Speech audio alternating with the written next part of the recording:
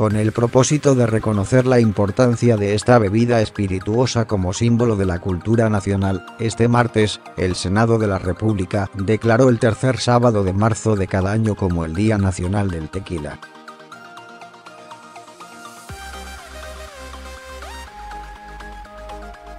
El dictamen aprobado por la Asamblea durante la sesión de este martes y devuelto a la Cámara de Diputados, para sus efectos constitucionales, precisa que el tequila es un producto de origen puramente mexicano que da a nuestro país reconocimiento nacional e internacional.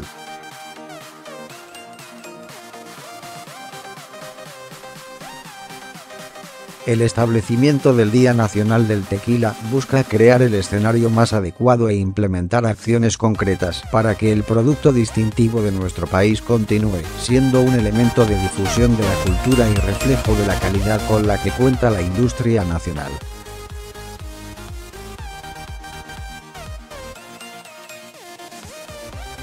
La producción total del tequila, en 2015, fue de 228,5 millones de litros, la cual aumentó 19,6% para 2016, con un total de 273,3 millones de litros, de acuerdo con cifras del Consejo Regulador del Tequila. La exportación total de tequila tuvo un incremento de 8,2% de 2015 a 2016, pasando de un total de 182,9 millones de litros en 2015 a 197,9 millones de litros en 2016.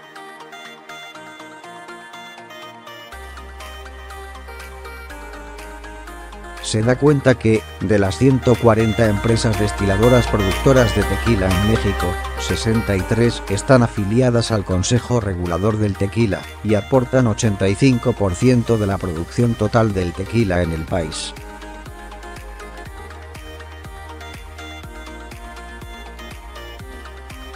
La industria tequilera es sólida, lo que deriva en la generación de empleos y mejoramiento del desarrollo de la economía en el país. Al cierre de 2016, la cifra total de empleos generados fue de 70.000, y dado que el tequila es reconocido a nivel mundial, las exportaciones se amplían a más de 120 países en el mundo. En 2016, tuvo un valor en el mercado de 1,4 billones de dólares americanos.